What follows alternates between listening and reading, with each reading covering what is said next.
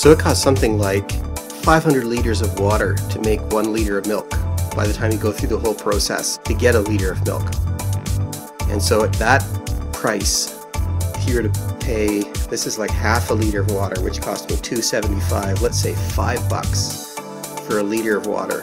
That puts the cost of a liter of milk on the order of a thousand dollars.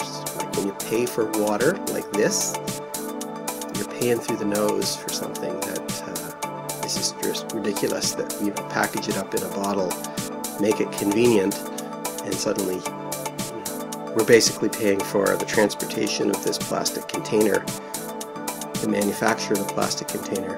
What's in it has this artificially inflated value, and yet it's so critical to life.